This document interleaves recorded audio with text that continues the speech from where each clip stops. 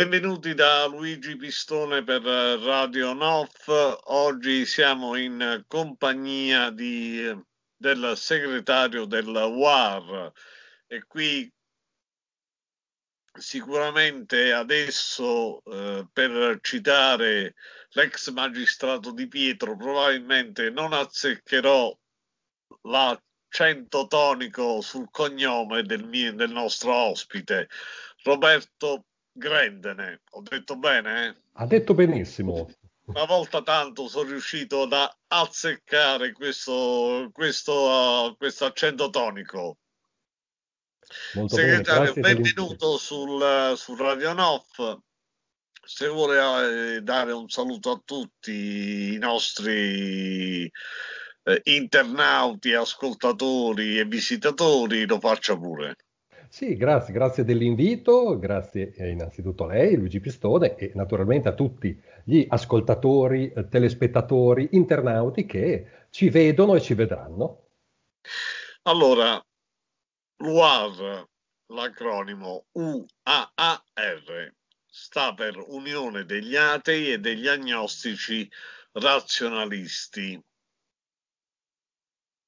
E un'associazione di promozione sociale che eh, si batte per i diritti civili dei non credenti e per la concreta affermazione della laicità dello Stato. E qui tocchiamo un altro argomento molto importante perché noi siamo in uno Stato laico, almeno sulla carta, almeno sulla carta in queste settimane sta portando il, il WAR un, uh, un, uh, una campagna in tutta Italia attraverso manifesti, incontri e altro sull'aborto farmacologico, una conquista da difendere. Il, uh, la frase esatta è aborto farmacologico, una conquista da difendere l'ultima delle sue campagne per i diritti, civili laici. Altre informazioni sull'associazione si possono trovare su www.uaar.it. Ripeto, www.u ancona, ancona, roma.it. Roberto Grendene 54 anni, una laurea in matematica e attivista UAR dal 2006, quando diventa coordinatore del circolo UAR di Bologna. Quindi ricopre gli incarichi nazionali di responsabile per la comunicazione con i soci, delle campagne e degli eventi. È segretario nazionale del, dell'UAR da maggio 2019. 2021 tra un po' sono due anni, giusto? Esatto. Possiamo iniziare con le domande, segretario? Sì, certo. Quindi l'acronico UAR sta per gli atei e gli agnostici razionalisti, ma quali sono gli scopi dell'associazione e quali contributi ha portato negli oltre 30 anni di vita? Eh, sì, buongiorno di nuovo a tutti. Ehm, come ha detto, UAR sta per Unione degli Atei e degli Agnostici Razionalisti, dove razionalisti è semplicemente un aggettivo che contraddistingue gli atei e gli agnostici, ossia eh, siamo un'associazione di promozione sociale che vuole tutelare i diritti civili dei cittadini agnostici e in generale difendere e, e, valorizzare le concezioni di vita che si basano su valori esclusivamente umani, che non hanno a che fare diciamo col soprannaturale, che possa essere l'esistenza di divinità o anche di credenze come la, mm, i fantasmi o le credenze anche più spicciole come la, l'astrologia o cose del genere. Quindi un approccio razionale non religioso all'esistenza basato su valori esclusivamente umani.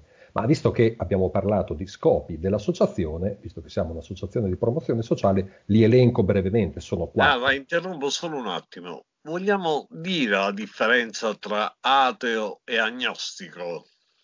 Vogliamo ateo dire... non crede, l'agnostico Ma diciamo, in realtà, da, da, di fronte alla domanda credi in Dio, sia l'ateo che l'agnostico rispondono no, non ci credo. Poi le sfumature sono diverse. Sono ma, diverse. Ma perché l'ateo non crede proprio. L'agnostico è una sorta di San Tommaso, cioè che non crede, vorrebbe vedere per capire e cercare di trovare una soluzione a qualche dubbio che ha però sostanzialmente non crede. E, ho voluto farle questa domanda quasi trabocchetto, però era per dare una spiegazione a chi ci ascolta. Poi razionalista, razionale, quindi deriva da No, l'essere appunto, razionale. Dal, dall'uso della ragione nell'approcciare i problemi della vita, che ovviamente non vuol, non vuol, dire vivere senza fantasia, senza emozioni, ma è un approccio usando la ragione, quindi Potremmo godere. è una concezione quasi cartesiana di Descartes. Diciamo. Penso quindi io sono, e poi positivista perché soltanto sull'atto pratico che io creo e genero una riflessione, una, un credo. Uh, in realtà diciamo che ci sono mille, per dire, forse milioni di modi, di, di modi, di vivere il, propria, il proprio approccio con uh, la domanda perché sono su, su questo pianeta della Via Lattea. E allora a queste risposte, queste risposte possono essere appunto mille, sia dall'ateo che crede perché addirittura pensa di aver trovato la prova, ecco questo è un po' estremo come approccio, sia l'agnostico che è dubbioso e dice chissà forse c'è, forse non c'è, ma in mezzo a questo fronte ci sono tantissime sfumature. Le faccio il mio esempio personale, io mi definisco sia ateo che agnostico, a seconda della circostanza, ateo nella vita di tutti i giorni, cioè così come rispondo a Babbo Natale non esiste, rispondo anche a Dio che non esiste. Invece sì, agnostico, agnostico, dal punto di vista puramente logico e magari anche scientifico. Io ho appunto una preparazione scientifica e quindi l'approccio ai problemi si basa sulla buona definizione del problema. Se un problema non è ben definito, io diciamo, eh, esagerando, non perdo tempo, cioè dico, quando mi presentate un argomento ben definito ne parliamo adesso, non mi interessa, mm, n- non è di mia competenza dal punto di vista logico e razionale. Ecco. Io non ho fatto studi scientifici perché sono un sociologo, però mi trovo anch'io in una situazione perché sono a contatto con la realtà e quindi avendo a che fare con la realtà non posso perdermi in dogmi che eh, hanno poco a che fare con quelle che sono le situazioni contingenti della, del vivere civile. Ma torniamo alla domanda. Quindi scopi dell'associazione, contributi che ha portato in questi 30 anni. Prego e mi scusi per l'interruzione. No, volentieri anche. Anzi, un po' di, di interazione fa, fa, bene al dialogo. Eh, gli scopi sono quattro. La difesa dei diritti civili dei cittadini atei e agnostici. Il secondo è l'affermazione concreta del supremo principio della laicità dello Stato, e quindi di conseguenza l'abolizione di privilegi accordati o di, o di diritto o di fatto su base religiosa. Eh, il terzo scopo è quello di affermare nel quadro di una concezione razionale non religiosa dell'esistenza i cosiddetti diritti civili laici, ossia l'autodeterminazione dell'individuo. Mi riferisco in particolare sia all'interruzione volontaria di gravidanza che anche alla procreazione medicalmente assistita, quindi sia non avere, non volere una gravidanza, sia invece cercarla e usare la ricerca scientifica per questo, ma anche contrarre l'unione civile, anzi, il nostro scopo sarebbe il matrimonio ugualitario, ma anche, e andiamo verso la fine dell'esistenza, l'autodeterminazione del fine vita, quindi la vita di chi è la mia vita è mia e quindi dovrei poter avere voce in capitolo e quindi avere il diritto di eh, uscire dignitosamente o secondo quella che è mia, il mio concetto di dignità da questo mondo che per noi è anche, è anche l'unico e per questo appunto vale la pena di, ehm, di, di, di diciamo, lottare, su un termine forse forte, ma per una convivenza pacifica.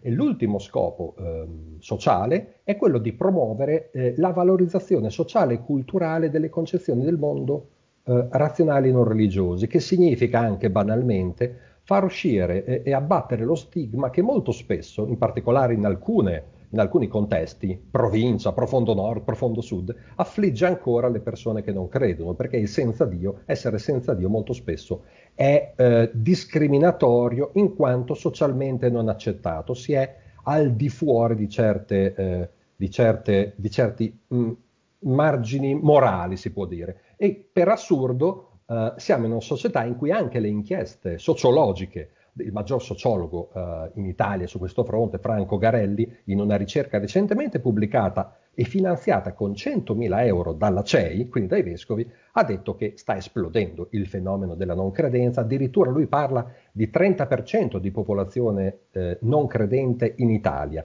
Le, la nostra inchiesta, che invece abbiamo pagato molto meno, però fatta dalla Doxa, parla di un 15% di atei gnostici, ma concordiamo sul fatto che le nuove generazioni sono in larga parte no, non credenti, anche il recente eh, sondaggio Istat, la, la, la, ricerca Istat durante il lockdown ha mostrato che eh, chi, siamo al 50% di circa di persone che non hanno mai pregato durante il lockdown, cioè una situazione di grande stress e di grande sofferenza. Quindi ci si rivolge maggiormente magari alla scienza, a eh, un approccio razionale dei problemi rispetto a ricorrere a una preghiera che può essere sicuramente consolatoria. Il diritto alla libertà di culto è fuori discussione, però non dà magari le risposte che nel terzo millennio ci si aspetta.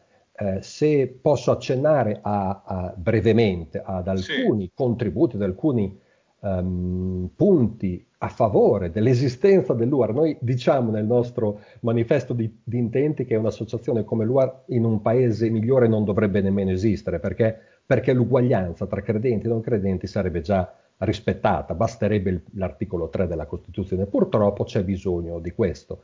E per cui abbiamo, eh, siamo, siamo, magari conosciuti per, una, per un'iniziativa legale del 1999 che è volgal, volgarmente chiamata sbattezzo. Dico volgarmente perché fu un nome voluto proprio dai vescovi per denigrare questa sì. vittoria che invece, che è invece u, u, banalmente un diritto eh, riconosciuto da trattati internazionali per la tutela della propria reputazione e per il diritto di uscire da un'organizzazione alla quale non si vuole appartenere. Perché in Italia, come sappiamo, eh, anche dal punto di vista civile, l'appartenenza religiosa, l'appartenenza alla Chiesa cattolica è riconosciuta in funzione dello sbattezzo. Sei suddito perché battezzato. Eh, questa è una frase che compare eh, in una sentenza della Repubblica Italiana del 1958, ma ancora non contraddetta. Mi riferisco al noto, almeno per, per alcuni casi, dei concubini di Prato, che causò appunto la reazione anche di Aldo Capitini,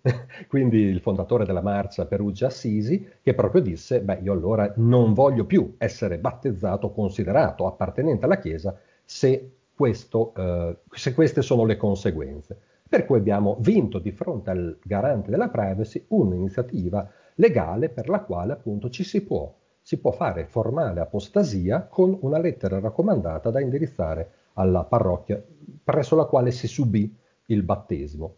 Ma a noi si, rivolgono anche Uh, per, questa, um, per, l'assistenza legale legata a questa pratica, anche fedeli di altre confessioni, cioè uh, tanti anabattisti ci hanno chiesto eh, come, come, uscire dalla Chiesa perché volevano tutelare la propria reputazione, alla fin fine è eh, l'affermazione di un diritto di non appartenere a un'organizzazione, può essere un partito, può essere l'associazione degli scacchi se non si condivide più uh, l'ideale di quel certo, partito eh, o certo. la passione per gli scacchi, è, è, anche una questione normale. Poi c'è anche chiaramente invece un, una battaglia personale e politica di dare un forte segnale perché in certe circostanze uh, le, nostre, sì, le, nostre, le, nostre, domande di sbattezzo vediamo che salgono, salirono tanto quando fu eletto Ratzinger, salirono tanto quando Napolitano um, difese il diritto di Eluana Englaro di avere una morte dignitosa, quindi c'è anche una reazione politica. Se veniamo ai tempi più recenti, anzi andiamo al 2010, una gr- splendida iniziativa legale eh, vinta dall'UR fu quella per il diritto all'ora alternativa. C'era in una scuola di Padova una bambina che veniva smistata in altre classi come un pacchetto postale per cinque anni, perché? Perché i genitori avevano chiesto di non seguire l'insegnamento della Regione Cattolica, ma di avere il diritto all'ora alternativa. Ecco, eh, abbiamo ottenuto questa vittoria legale che addirittura l'anno dopo fece dire a con una nota congiunta dal Ministero dell'Istruzione e dal Ministero dell'Economia e delle Finanze che è un diritto conclamato l'ora alternativa e chi, le scuole che non la attivano ledono un, uh, il diritto all'istruzione e alla libertà religiosa, che come sappiamo sì. include anche la libertà dalla religione. Comunque le attività alternative oramai sono in tutte le scuole. Il problema semmai si pone perché molte volte gli insegnanti o le insegnanti, i professori, eccetera, che hanno il turno di attività alternativa non sanno cosa fare con i ragazzi, che materia. E poi si pone un altro problema, siccome ormai stiamo diventando sempre più multietnica, quindi abbiamo chi crede in un altro Dio, chi addirittura invece ha i genitori atei e non hanno voluto che il figlio seguisse l'ora di religione e quindi fa attività alternativa. Poi ci sono mille rivoli all'interno della Chiesa, perché consideriamo la Chiesa cattolica, perché eh, Cristo non ha mai parlato di una Chiesa, tant'è che i francescani posero una domanda al Papa, ma Gesù era padrone dei suoi vestiti? Era un chiara, una chiarissima botta, come si suol dire, alle ricchezze dello Stato Vaticano, perché Cristo predicava la povertà in povertà e la povertà e la misericordia. Invece oggi ci troviamo di fronte a una Chiesa che è uno degli stati più ricchi forse al mondo però ha sempre determinati punti di vista, non a caso abbiamo levitazioni di alcune statue che stanno sotto i portici del Vaticano, sostituite poi con delle foglie, perché era un oltraggio, era pubblico ludibrio, insomma delle visioni molto da menti contorte, c'è anche sull'arte quindi sulla Venere Anadiomene Botticelli semmai gli mettiamo una bella tunica così eh, chiudiamo il, la, la vicenda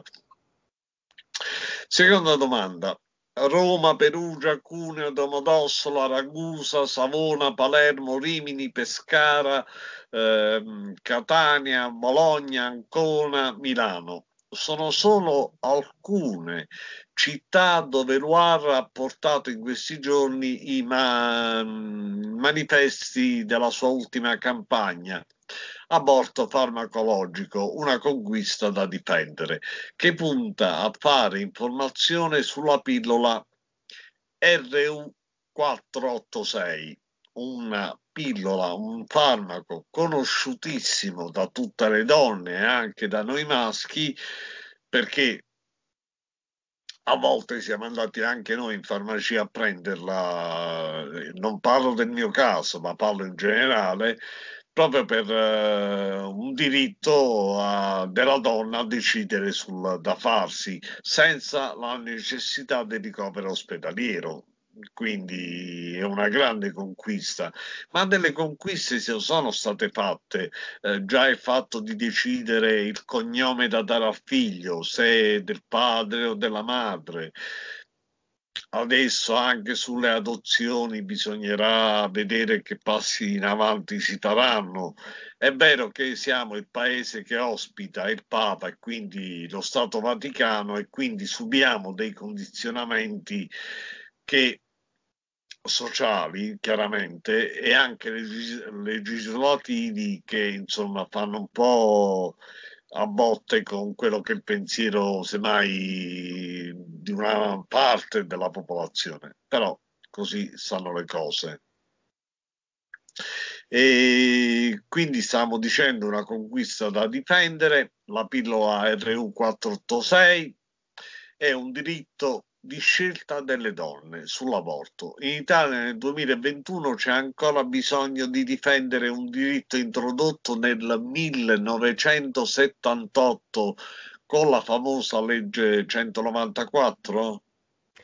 E la risposta è purtroppo sì, purtroppo ce n'è ancora bisogno. Eh, innanzitutto perché già eh, la legge 194 del 78, quando, chiaramente quando fu introdotta fu una rivoluzione, una rivoluzione eh, e una liberazione per tante donne, ma a, a, aveva e, e, purtroppo ha ancora dei problemi perché ha, introdusse l'obiezione di coscienza, per dire, che aveva senso allora, aveva senso, c'erano ginecologi, c'erano specializzanti che avevano scelto quella professione, quindi gli si trovavano cambiate le carte in tavola, ma a 40 Posso anni interromperla distanza... un attimo? La interrompo, mi dispiace che la interrompo spesso, però io conosco per esempio dei medici che facevano interruzioni di gravidanza e sono entrati in ospedale perché in ospedale c'erano troppi obiettori e quindi mancavano medici per praticare l'interruzione di gravidanza. Sono entrati, una volta sistemati in ospedale, sono diventati obiettori. Prego, continua. No, ma infatti questo è uno dei tipici problemi, cioè eh, chi non è obiettore dice comunque di esserlo e eh, diventa obiettore e questo cosa comporta? Una limitazione concreta, una, una, serie, una rappresaglia mm, nei confronti delle, delle donne Se che Se entri in ospedale come obiettori, obiettore eh, c'è una cosa, ma se entri per l'interruzione di gravidanza tu la fai finché non vai in pensione. E, esatto, è proprio questo, infatti dal nostro punto di vista, ripeto, 43 anni dopo l'introduzione di questa legge, semplicemente non dovrebbe essere più ammessa l'obiezione di coscienza nei reparti di ginecologia della sanità pubblica. Se uno vuole fare l'obiettore nel privato, va, può farlo. Se uno vuole fare l'obiettore e fare il dentista, mm, beh, può farlo. Ma perché proprio assumere addirittura chi si dichiara o chi dopo cambierà la propria scelta diventa obiettore? Io Oggi... metterei una clausola sul contratto. Io ti assumo per l'interruzione e la devi fare a vita, cioè non puoi cambiare idea.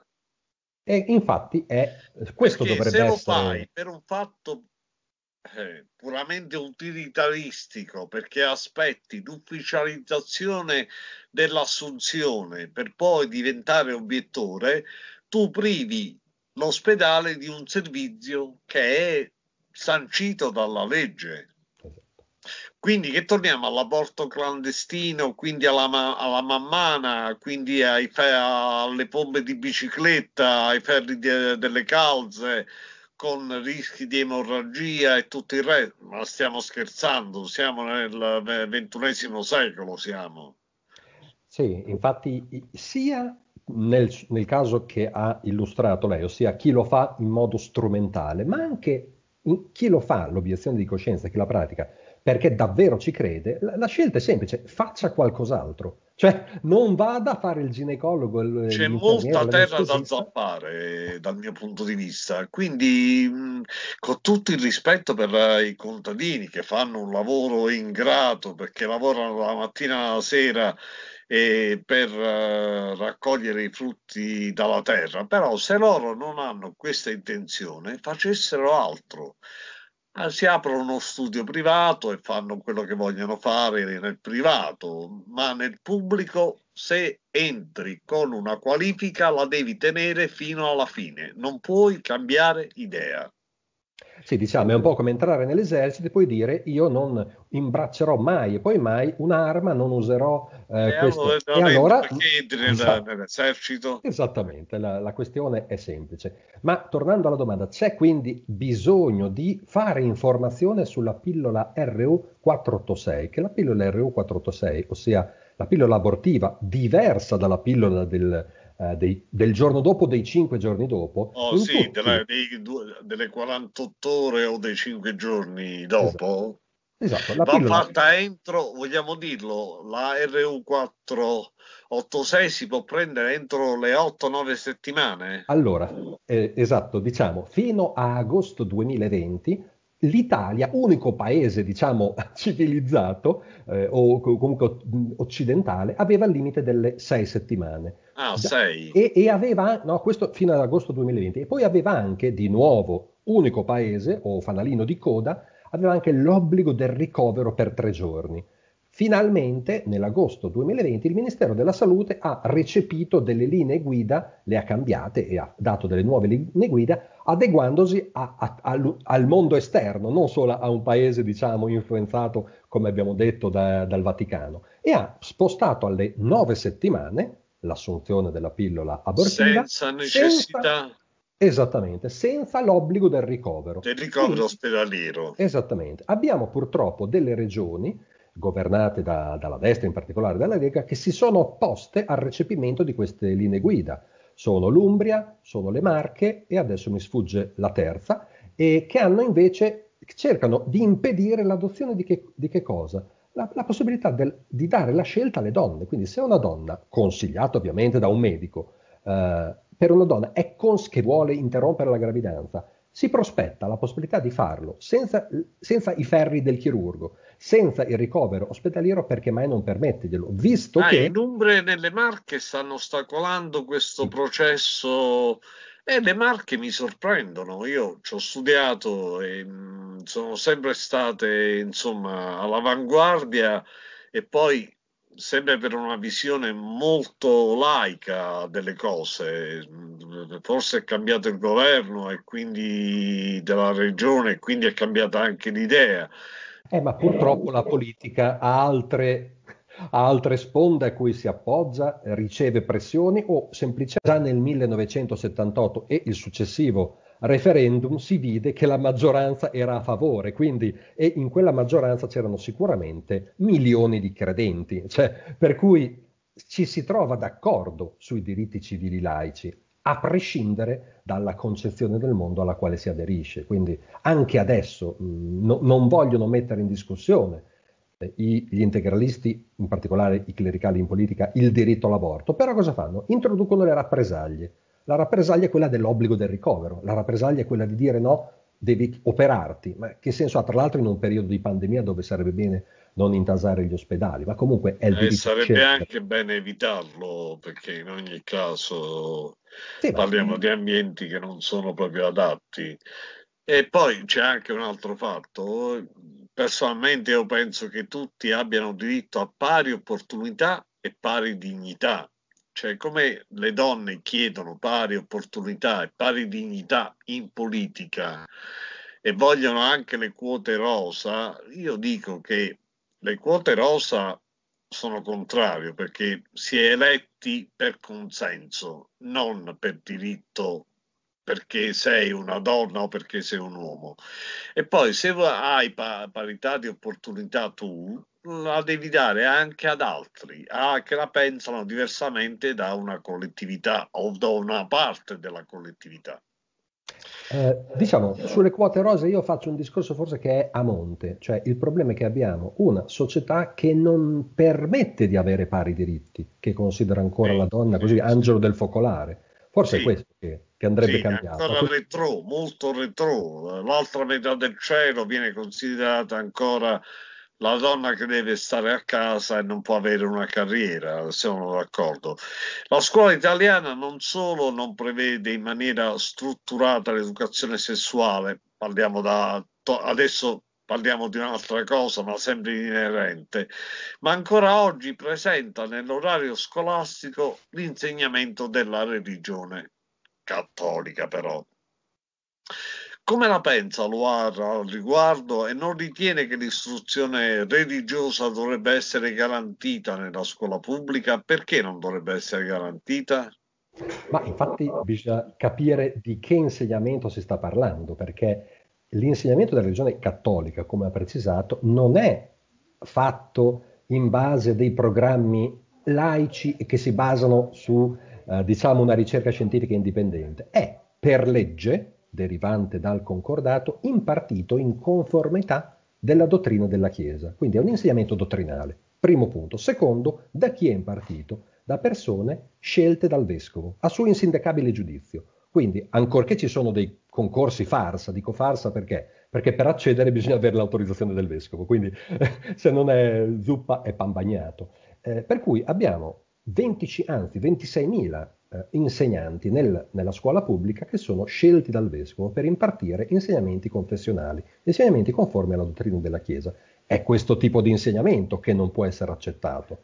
Non può essere accettato per, perché, e mi rifaccio a un accenno che, stato, che è stato fatto prima, perché i bambini, i ragazzini dovrebbero essere lasciati liberi di scegliere da grandi, che è una nostra campagna che non so se si vede, che è proprio questa. Sì, se la allontana poco poco dallo schermo si legge meglio. Sì, eh. perfetto. E, appunto, io faccio anche un riferimento storico a questo punto che è delle scritture della Chiesa Cattolica. Gesù Cristo è stato battezzato da Giovanni Battista in età adulta, non quando era bambino. E diciamo, questo infatti è un altro tema, il pedobattesimo.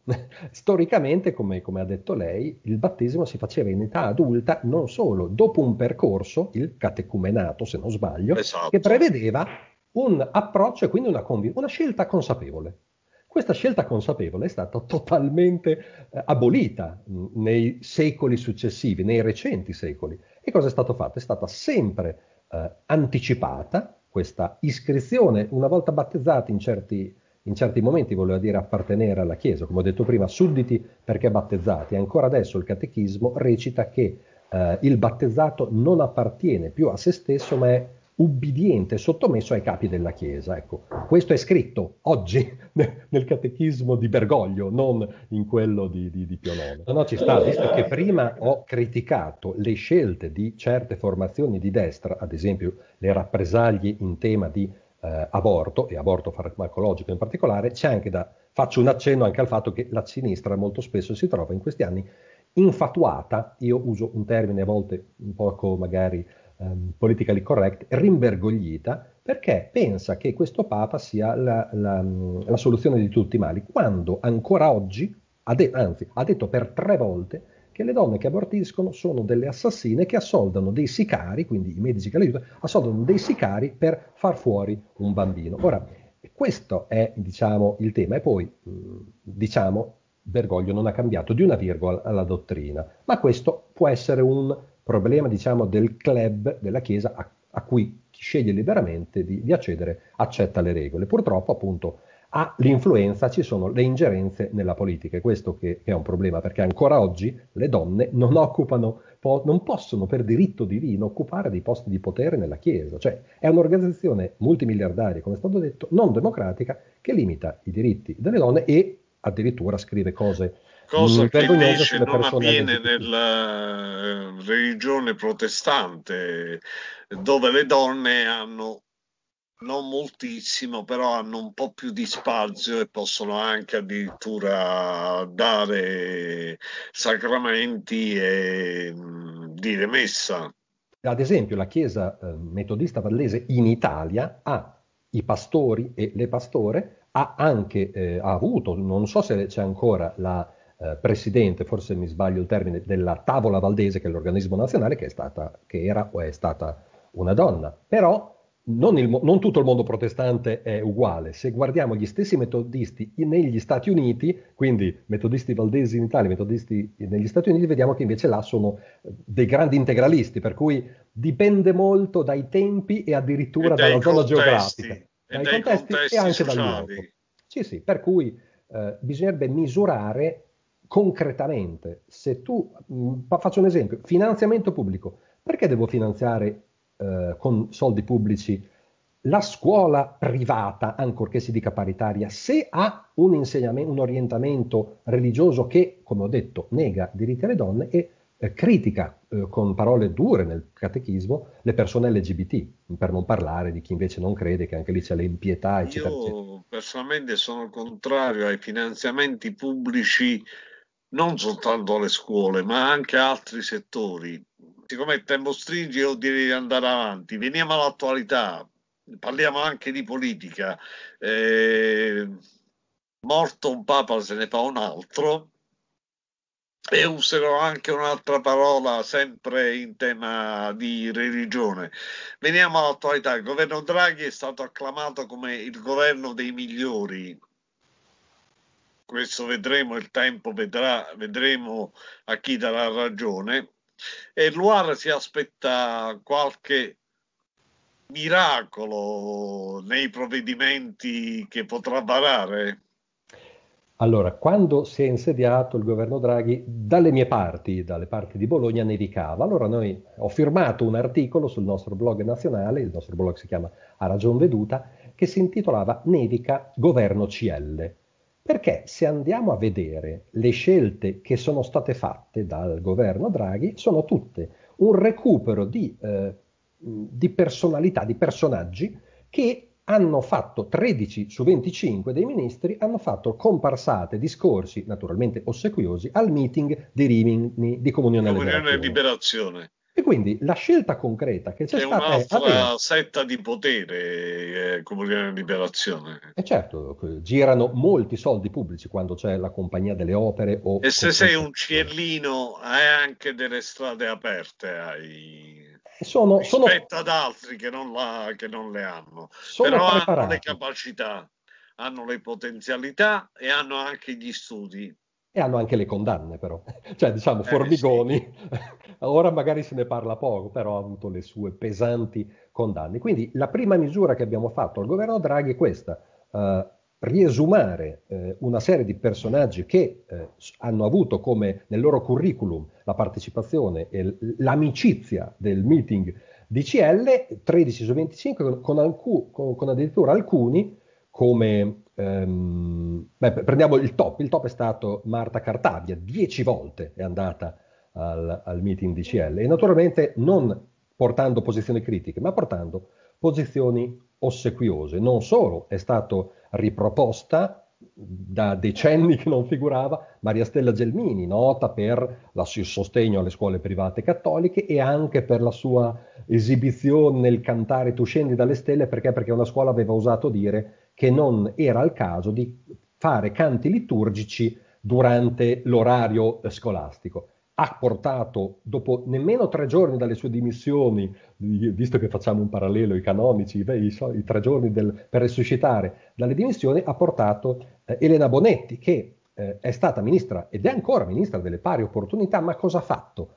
Oltre al sostegno anche lei alle scuole private paritarie, ha portato nella task force per il eh, Donne per il Nuovo Rinascimento chi? una suora che è consigliera dello Stato della Città del Vaticano, quindi non tanto una suora, si potrebbe dire, beh, magari è una suora che è contestatrice, no, è una suora che è consigliera di Città del Vaticano, sia di che cosa? Di un'organizzazione che strutturalmente discrimina le donne. È che queste, questi, questi tipi di scelte sono un po' imbarazzanti. Eh, quindi ci aspettiamo miracoli, è stato detto, mi ha chiesto in modo un po' ironico.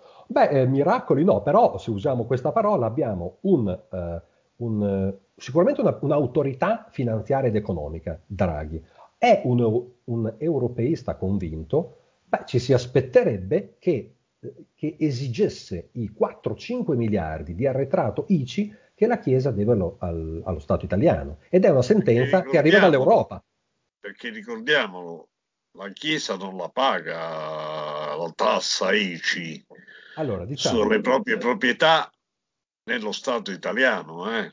non la sicuramente, paga. Sicuramente questi 4-5 miliardi derivano da un'evasione riconosciuta anche dalle Corte di Giustizia europea, quindi eh, si, è, si, è, arrivati ai massimi gradi per gli anni, mi sembra siano dal 2006 al 2011, quando non poteva non pagarla, diciamo, perché era stato fatto un, un accrocchio perché non la pagasse ma che non reggeva.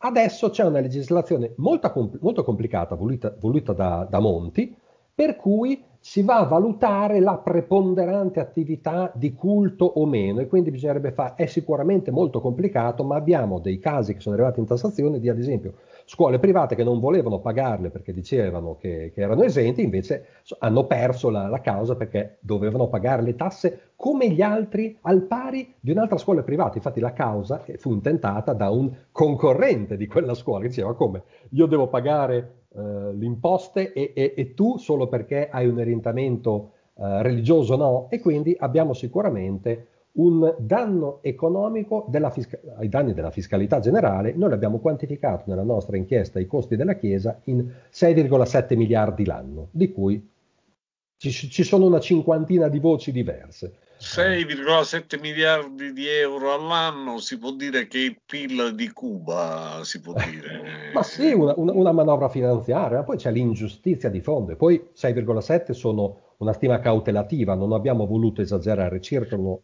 circolano anche altre stime, noi ci siamo attenuti ai, ai, dati di fatto, non a quelli su cui non abbiamo potuto investigare. Noi non stiamo, io voglio precisare per chi ci sta ascoltando, la nostra non è una crociata, perché è un termine caro alla Chiesa, contro la Chiesa, è soltanto per una rivendicazione, la vostra, di pari opportunità e dignità, diritti e doveri in una società multietnica e soprattutto laica, giusto segretario? Ha riassunto benissimo. Noi ci battiamo per l'uguaglianza di fronte alla legge dei cittadini e delle loro organizzazioni ba- senza discriminazione sulla base delle convinzioni filosofiche o religiose che possono avere. Insomma, l'articolo 3 della Costituzione senza cadere invece nel, nel trabocchetto nel, nel, del relitto fascista, che è l'articolo 7, quello che dice che le relazioni tra la Repubblica Italiana e, e la Chiesa sono regolate dai patti lateranensi, dal concordato. Lateranensi fatti da Mussolini e poi rifatti da Craxi, esatto, rinnovati. Rinnovati con eh, dei pro e, po- e, pochi pro e tanti contro. Il, l'unico pro è stato che è stata abolita la religione di Stato, che fino al 1984 la Repubblica Italiana aveva, certo. però è stato introdotto l'insegnamento della religione cattolica nelle scuole dell'infanzia, cioè dai 3 ai 5 anni, che, cose che nemmeno il catechismo... E, poi, e io faccio eh, un paragone che forse lei mi dirà c'entra poco. Soltanto quest'anno è stato rime- eh, reinserito nei programmi scolastici l'argomento educazione civica che era stata eliminata dalla vabbè la Germini ha fatto la riforma forse la peggiore nella storia, tant'è che io rimpiango la riforma gentile, pur non essendo, e per, per giunta gentile non era fascista, eh? chiariamolo storicamente, perché Mussolini aveva l'intelligenza di in certe situazioni di circondarsi di intelligenze, non di adepti. Poi passiamo all'ultima domanda perché il tempo è passato quasi un'ora. Deluar è il progetto editoriale Nessun Dogma, che ha anche ricevuto uno speciale premio dal Ministero dei Beni Culturali. Anche la sua rivista associativa si chiama Nessun Dogma.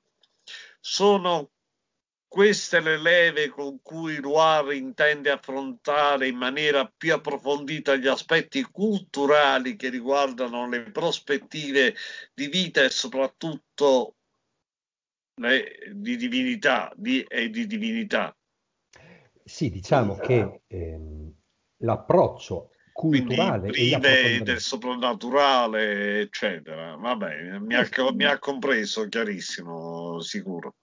Sì, sì, diciamo, eh, oltre alle battaglie anche con iniziative giuridiche e campagne di promozione sociale con manifesti, usando solo i soldi eh, che ci danno i sostenitori, quindi i soci e anche eh, i, i, semplici sostenitori che non sono, che non sono soci. Quindi no- con le nostre risorse facciamo campagne di sensibilizzazione che sono chiaramente costose, ma affrontiamo anche da un punto di vista più culturale, quindi libri e riviste, stri- ma anche il blog eh, nazionale, che cosa? Certi tipi di argomenti che meritano approfondimento. Quindi nost- il nostro progetto editoriale, che è nato nel 2012, si chiama appunto Nessun Dogma Libri per Menti Libere, offre in questo momento 40 uh, libri che spaziano da testi che non erano stati tradotti in italiano e che abbiamo pensato noi perché sennò nessun altro ci pensava e che circolano quindi nel nostro, eh, nel nostro paese, eh, ha anche testi che invece parlano a,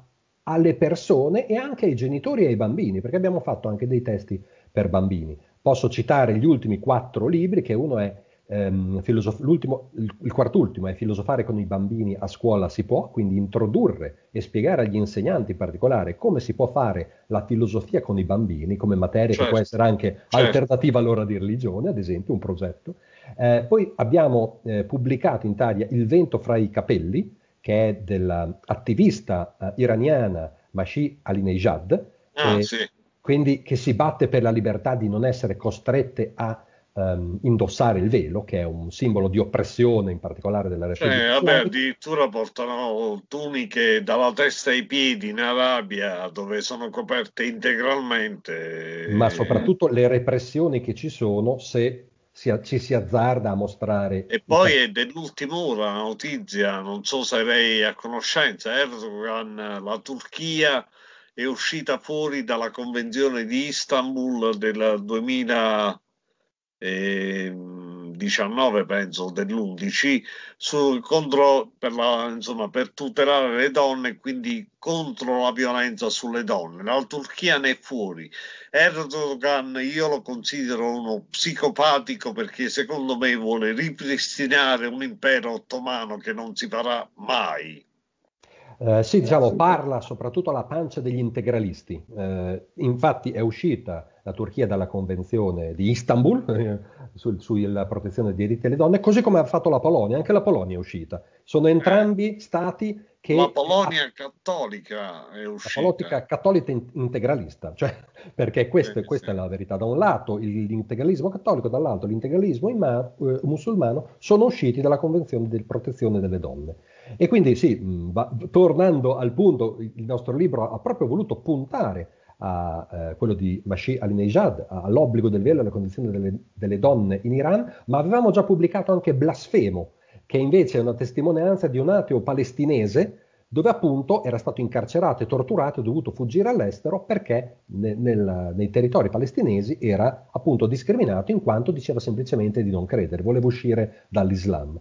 Uh, Accenno solo al fatto che eh, il nostro progetto editoriale ha recentemente istituito una collana, la collana Iura, che si occupa in particolare di testi specialistici nell'ambito quindi del diritto e il diritto, il diritto di non credere. Il, il, nostro libro pubblicato, il più recente, è appunto il Codice europeo della libertà di non credere, a cura di, eh, scritto da Silvia Valdassarri, una, eh, una segnista di ricerca all'Università di Firenze, che, per cui abbiamo sovvenzionato noi eh, la, la, borsa di, di ricerca. Eh, poi c'è anche, appunto, a, a, oltre al progetto editoriale, anche una rivista che è eh, edita dal, dal 2020, eh, che si chiama Anch'essa Nessun Dogma, con un sottotitolo Agire laico per un mondo più umano, che presenta ogni due mesi ehm, 60 pagine che parlano di eh, laicità, tanto parlano di laicità, della nostra associazione, di scienza e di cultura.